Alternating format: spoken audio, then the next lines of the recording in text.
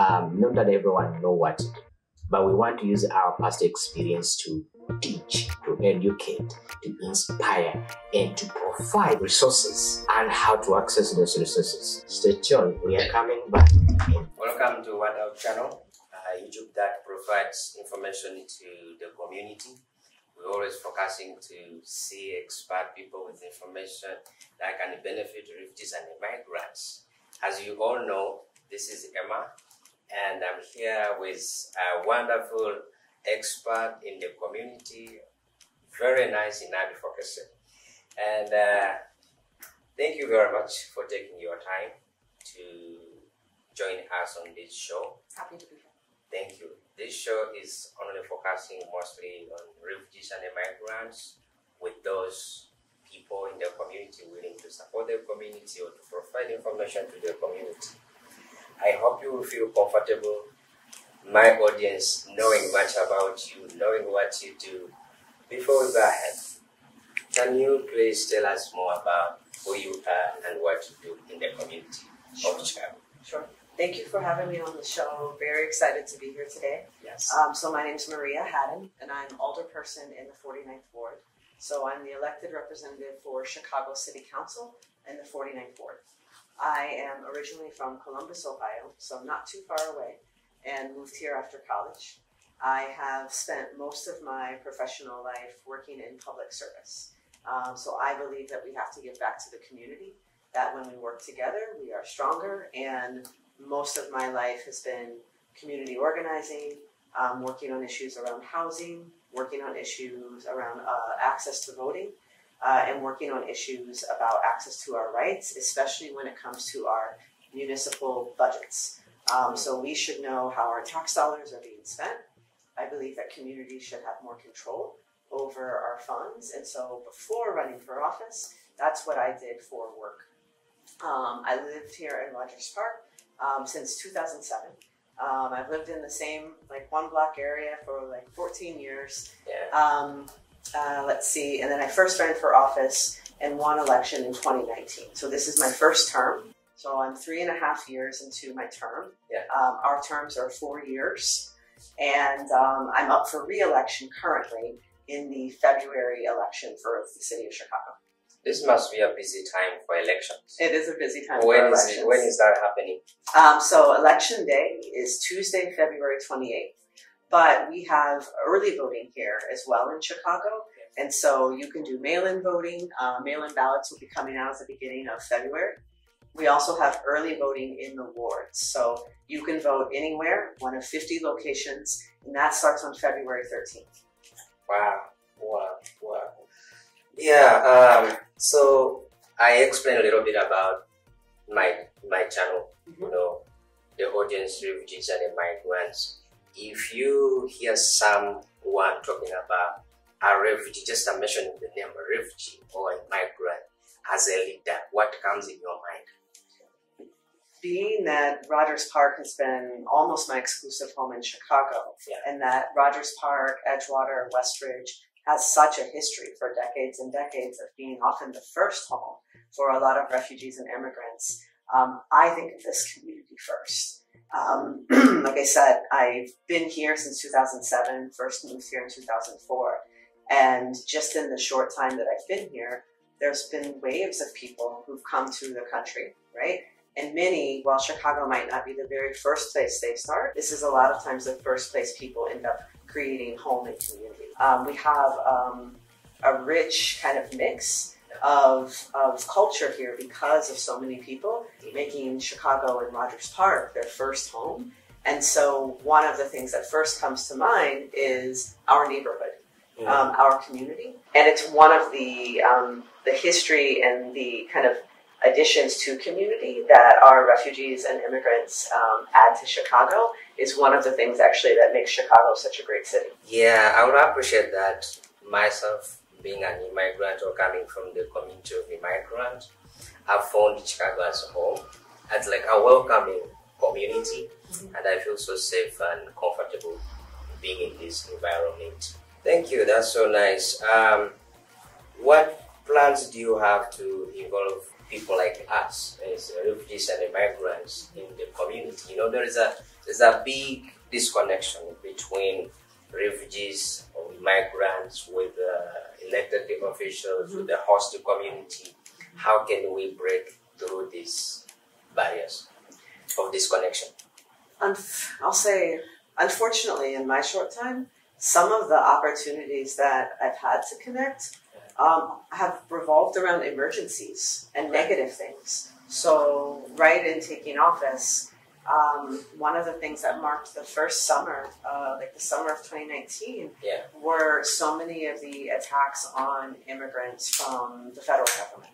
So the threat of immigration raids, right? Because here in our community, um, all through Chicago, but in Rogers Park too, there are so many different levels of documentation that people have, right? Um, immigrants and refugees is a broad category with like a lot of different experiences. Yeah. And um, you know, myself, we had a whole community group called Protect Rogers Park that was created to help alert community about potential ICE raids. And so we did a lot of know your rights canvassing, working with local organizations. Um, on the positive side, Yeah. my experience in engaging has been with a lot of our nonprofit organizations. So from where we met, um, right, in World kind of Refugee Day, but also, you know, Centro Romero, the HANA Center, the Indo-American Center. These are fantastic institutions that partner with my office and so many of the kind of city services or um, other state services um, and community needs um, are communicated to me right, by them and vice versa. And so they're fantastic partners for outreach. One of the things that I would like to do better, and it's particularly challenging here, Yes. is around language access, but also around helping people to feel like we have more access to elected officials. Because it is the nature sometimes of the experience Right. that some people are here, especially folks maybe with refugee status, um, because of government in a home country. And so people sometimes are hesitant to engage with government, in my experience. Mhm. So I've tried to, and I will continue to work to make my office a friendly place where people know, like, it's a safe space. And I think that we maybe have more ability to do that at city government because we're not as powerful, we're not as threatening, um, and it's one of my aims in my term to make sure that everybody feels like they can come to the alderperson. Thanks. You talked about um, language access. I don't know how you're planning to do that because, as you all know, that most refugees and migrants have limited capacity of language, and the national language here is English. Mhm. So this language has been, you know, affecting the accessibility of services. Some employers, some uh, service providers, hospitals, they are reluctant about providing these services. What courage can we put in place so that people can have equal access of services when it comes to language? Some of it is culture changing, right? So uh, you mentioned uh, some institutions, like vital institutions that people need, Yeah. they don't even think about it, right? And some of that is about how to change the culture. So in my office, um, particularly because you know in Rogers Park, I, we have like 80 languages, right? Yeah. Um, but we do still have a, a, lot of primary ones. So we've started in my first term um, with being the first office to make everything at least bilingual. Yeah. So Spanish is another very prominent language um, in our area, in our city. So we do everything in English and Spanish um, in our written communications, um, interpretation for meetings and things of that sort. This next term, I look to expand to include American Sign Language as well. And then, as much as possible, especially when it's um, really key information. So, for instance, at the beginning of the COVID 19 pandemic, Yeah. um, we reached out to additional partners in the community for more languages. So, including French, including Arabic, right? Including Russian. These are other major languages in our area. And so, we do have resources, at least locally, where because we're a community of immigrants, right? There are people here who speak multiple languages. Um, do. Yeah. currently in my office, I have staff. Um, we speak English, Spanish, um, Russian, and a little bit of Ukrainian. Mm. Good. Speaking of Ukrainian and Afghanistan, the prices have been so high. Is there anything government preparing for them, for their space, welcome them in the community? At the city level, um, the things that we've done are the things that Chicago knows how to do. Yeah. And a lot of it has been um, helping to get more resources for our community organizations, much of which comes through the federal government. Yeah. It is never enough. but um, but then a lot of it is helping people acclimate through our schools. Mhm. Um, so Sullivan High School, Kilmer Elementary School, um, uh, oh, um, Newfield, Eugene Field, Gale, Jordan. Um, almost all of our Rogers Park schools, because of the families who live here, Mm. um, have staff that speak multiple languages, right? Have people working and living there that are more integrated. And so, with that uh, latest kind of influx of Ukrainian and Afghani refugees, um, Albany Park is an area where more people are kind of being settled. But I'll say that they came to Rogers Park schools to talk to the administrators and the teachers and the staff here to learn about how, like Sullivan High School in particular, has created um, programming and education to help the kids kind of integrate and acclimate and to support the families. So, so much here through our schools works at working with the young people who then end up being such strong advocates and resources of information for their adult family members at home. So that means schools are prepared Schools are and they are supported by the government to welcome families. Here in Chicago, they Here in are. Chicago. Here in Chicago, they are. Okay, when when I when I look at your priorities of of housing, yes. right? You talked about housing. I think refugees and immigrants. This is a big issue. Yes. Uh, it can be to also other Americans too. Mhm. But our biggest issue is credit. We come here with no credit completely, Mhm. And that limits us to access housing because even if you can afford, but you cannot get a permit Mhm. or a house, what is, is there any plan put in place? Or, you know, There's not a plan, but it's actually one of the. It, I was. Um, it was helpful to hear you share that with me. I know you kind of shared the information because it's honestly not something that I had thought about. Right. So something that's not my experience, so that I hadn't thought about. What I do see in my office, though, is a related experience for a lot of community members. Um, not because they have no credit, but for some people who don't have good credit. Yeah. And the housing market is so tied to that. And so things that I'm thinking about as I move into a second term are on what are other reforms that the city of Chicago can do in order to alleviate this. Um, some of the complaints that I hear in my office over the last couple of years in particular involve the credit score.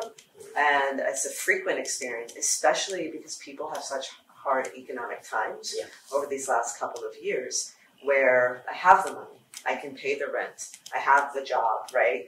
Um, but my credit score is not good enough. And to complicate it, the apartment companies and the landlords, they take your application fee.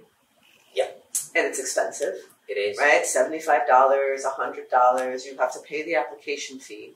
And you even may know your credit score, or I have people who say, I, I talk to the management company and I let them know, like, I don't have a good credit score, but I have the proof of income, I can pay.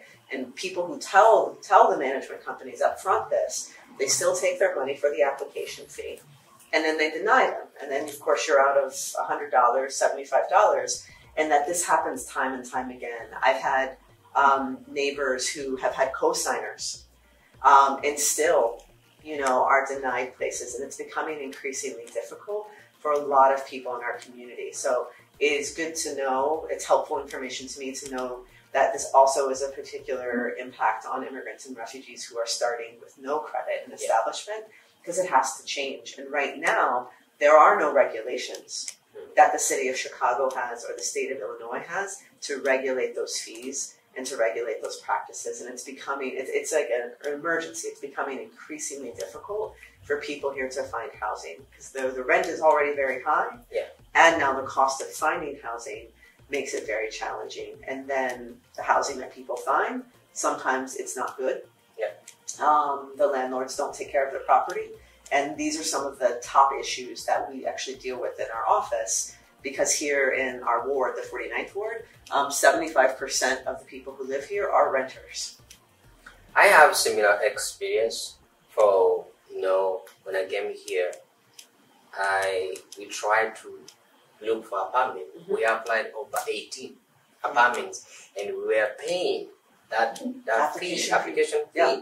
and they just take and they don't approve it for a long period of time until we got a cosigner, Mm-hmm. an American person who was able to help us secure the apartment, Mhm. and we could pay, but they could not give it to us. Yeah. It's so common, and also other landlords that I've seen because they know that this population have limited capacity, they have no much idea about housing policies, so they take advantage of them Mhm. Uh, by not maintaining, as you said, maintaining their apartments or threatening them with evictions. Mhm. I don't know how, what plans as a community could do to advocate or to to inform the landlords Mhm. to be aware that this population deserves respect and deserves to be treated as a normal as anyone else. I don't know how much luck we'd have in, in changing the landlord's mind, Yeah. but I think that it's very possible to organize as a community. So um, historically, we have had lots of housing organizing experience, um, and I have personally as well in this neighborhood and in Chicago. Um, first and foremost, people should know that this is a perfect thing they can call their alderman about, right? They can call their alderman's office. As They the city, call you. yes, they can call me. If you don't live in the 49th ward, you can find your alderperson. You can go to your alderperson's office or call them. So when people call me and they say, hey, my landlord isn't providing enough heat, or the water's been shut off for two days, or there's a dangerous repair that they won't fix, there's a hole in my wall, there's a leak here, and I, they have called, I've reported it, people send me pictures, and then what I can do, I follow up with the landlord, and if the landlord doesn't respond with me, we call the city's Department of Buildings. So it can be a little tricky because sometimes people are afraid to report Yeah. because they don't want to lose their house. My house. However, we can't live in fear, and if we don't know about it, we can't make them fix it. So the city does advocate for tenants. We will work on buildings issues. We will make landlords fix buildings issues, and if you make us aware of it, it's something we can help with. I think another key piece is people need to know their rights. Mhm. Um, so we have information on my website, and that's something else that we can help with, um, and maybe partner with more organizations on. Is people need to know what their rights are. Um, we have a lot of rules that say, you know, how warm it has to be kept in your apartment, um, if there's air conditioning, how cool, and when it needs to be turned on, what types of accommodations. Um, you know, if they have to give you back your security deposit, but tenants need to know their rights because, especially, people are taken advantage of when they're seen as vulnerable. Yeah. Um, people also, um, immigrants and refugees, but a lot of the neighbors who live here who are not, a lot of people are working so hard too. People have multiple jobs, they have families, and when you're busy and you have a lot of other responsibilities, um, sometimes you just don't have time, right, to follow up or to advocate for yourself. But in addition to my office, we also have free legal aid resources so that we can connect people with legal aid resources so that you have more people to help advocate for you. Thank you. So if you are out there and you are facing a challenge with any of whatever we have highlighted here, please feel free to contact uh, the office. You'll get support you need. Uh, is there any available resources, uh, housing resources or housing assistance in Chicago community for folks struggling with rent or income or evictions? Yes, um, but not enough. Not enough. So before the pandemic, um, there is a monthly fund that the city has for rental assistance. So let's say maybe you didn't make as much money at work this month, or you know maybe you were sick, you know, um, and you just need a little bit of money to help you pay rent. Yeah. You can call um, 311 or an alderman's office, my office, and we contact the city. And it's every month. There's a certain amount of money. It's for the whole city you can apply and if you're soon enough you get it now with the pandemic and the additional funds that we received from the federal government we were able to do a lot more rental assistance for people so millions of dollars in rental assistance. Um, even locally here in Rogers Park, um, my office coordinated the Rogers Park Community Response Team, and we worked with Northside Community Resources here in Rogers Park and collected donations. And we were able to give people like $500 hardship payments, right? We had $60,000 that we raised. Um, so those funds are gone. Many of the rental assistance programs are also gone now, too. So for housing advocacy, we help people find affordable housing. So you can call our office. We work closely with Northside Community Resources as well and some of our other community partners to help identify affordable housing for people. Um, but it's a struggle, like it is. So on the city level, I advocate and have been the lead um, several policies to actually increase affordable housing. So to increase the minimum requirements when somebody's building a new building, Yeah. that they have to have at least 20% of those units be affordable. It used to only be 10%, we've made it 20%. Um, we also um, have tried to make more accessible housing for people, for people with disabilities, because that's another struggle where sometimes maybe you find a place that you can afford, but maybe you have a disability or a senior relative, right? And now it's a place where there aren't enough elevator buildings. So working to build more of that housing and create more of it, especially in communities like ours, has been a priority. Thank you. Uh, speaking of, of, of resources, uh, there's this perception. Sometimes I'm a refugee, and I can I can express that. Uh, we often hear that uh, refugees and immigrants are here to take free government free government resources and uh, citizen jobs, and um, I think I don't know. Is that true? No. um, it's not true. And thankfully, I'll say, you know, it's different and you hear different opinions where you live, right? And attitudes can be changed also by, you know, who are the people in power? What are the things they're telling people? So we're we are living through a kind of a weird time, right, in the United States where our major political parties have big divides over this. There's been an increase in like anti-immigrant and anti-refugee sentiment um, in more parts of the country. Um, we live here where I think we've been largely sheltered from it, but still, right? There's still a little bit.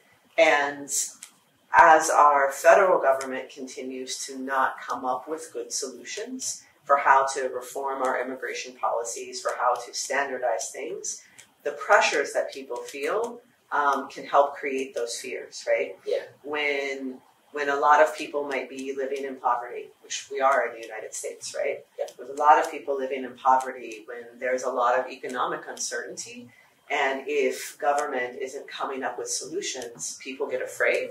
And when people are afraid, they those fears creep up. And it doesn't matter if they're true or not, right? Yeah. And it's like nobody's taking anybody's jobs, nobody's taking anybody's resources. Um, everybody's paying taxes. It's like people come here and they work and they're paying Yeah, taxes, paying right? taxes. Yeah, and are. sometimes you don't even get to benefit from the taxes that you're paying. You're right. Yeah. Um, so that's just not true, right, on how it works. But when people are afraid, they'll believe lots of things because they don't have better answers. And that's where we need better leadership. Um, we need leadership in government and leadership at community level to help educate people, to inform them, and to help us kind of bring people together. Um, here in Rogers Park in the 49th Ward, overwhelmingly, because so many people are themselves immigrants or were refugees or descendants from, um, people are very open and welcoming and supportive and don't tend to hold those views. Yeah. And even here in this neighborhood, the latest the latest wave, right, of um, think of the the migrants being shipped right from Texas. The Texas governor who's just taking people, Mhm. putting them on buses, lying to them, and shipping them to cities around the country. It's a very traumatic experience. It's created a lot of disruption in cities. So even a city like Chicago, who has a lot of money and a lot of resources and is a welcoming city, we're struggling. We have emergency shelters that the city has opened up.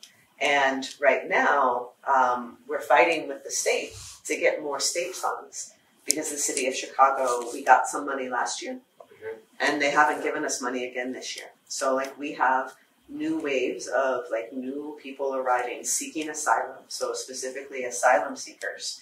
Um, some people are being allowed in, some people are not, right? Haitians are having a harder time getting in.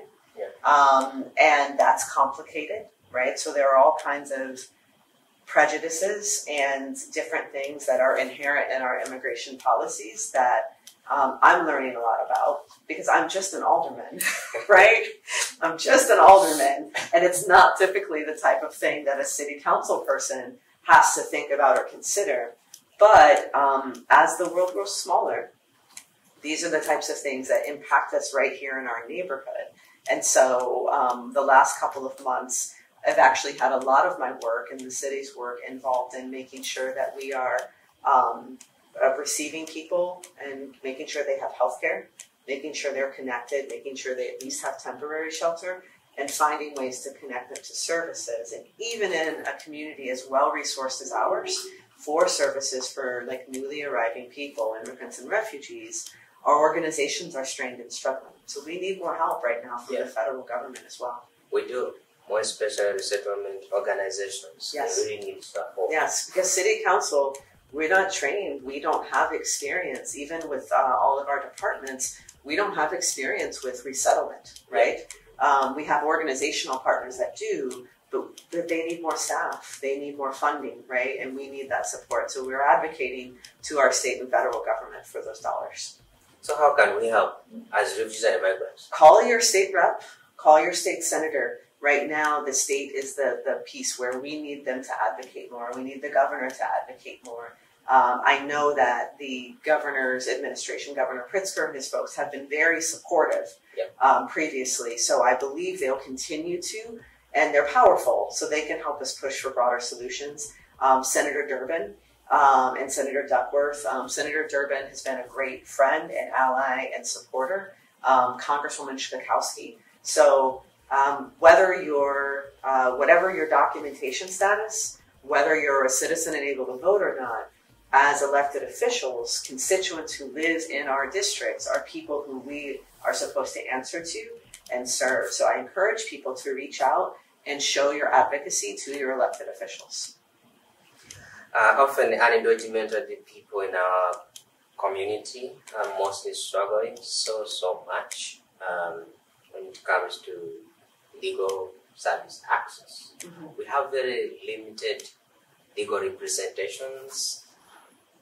I don't know if this should be also part of our advocacy, Eh, starting from It sounds that I think that's a perfect example. Um, so an elected official like me might not be the expert in knowing right where are the service gaps, like what is it that the community needs, and so this is this is advocacy right here, right?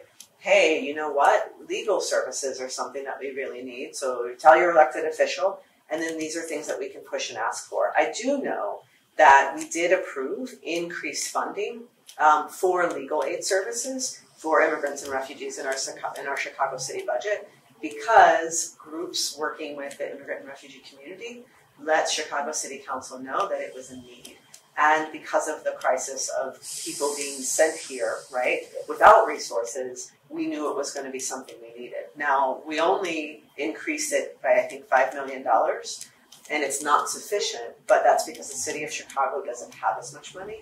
Um, but yes, like these are things that we also need support for. Thank you very much. Um, and then this is so grateful. This is so important. We we are so grateful to have you on this show. Um, what is the plan for this 2023? Um, for first, I'm going to win re-election. So that first, right? yes. First, I win re-election. Then I'm going to take maybe a week off. Okay. Maybe I take a break, sleep You in. you need, you. No, no, you maybe a short time. Yeah. mhm. Um, but then it, it's just continuing. So it's been very exciting um, uh, being new in office. Um, three years, three and a half years, four years can seem like a long time, but it's not. Um, so even though I know a lot about our community and started with a lot of experience, um, this first term has, even though I've passed a lot of significant legislation, I've done a lot of things in our community, but now I know even more, right? Like I know even more. And so I've got some great goals for, for the next four years. Um, so building on more of our housing advocacy, bringing in more of our community, continuing to opening my office up to make it more accessible.